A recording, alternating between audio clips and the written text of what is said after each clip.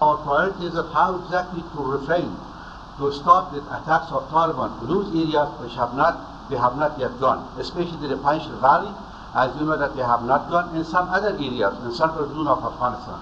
That's very, very important. If we have any sort of uh, government which could represent the ethnicities of Afghanistan, that must be based on the ethnicity sharing of the power. Without that one, we will never see peace in Afghanistan. You could remember that, you know that Dr. Ghani for the past 20 years, he really all the time, he tried to have all the power for himself. That's why, despite all the efforts of uh, international community, he failed. He failed and he failed Afghanistan. So we hope that the Taliban should not try the same thing. Taliban cannot rule by force in Afghanistan. They may have taken power by force.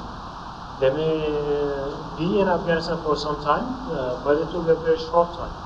If they do not respect the right of our people, if they do not respect the right of women, uh, children, ethnicities, and the cultures of Afghanistan, then they are bound to uh, defeat and to be removed from the country.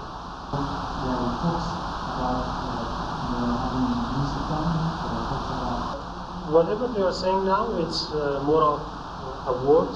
Uh, we, we haven't seen it in action, so we'll have to wait uh, to see uh, if they are really, if they have really changed. Uh, I doubt it. I still do not believe they have changed. What they are doing is more of a publicity than a policy.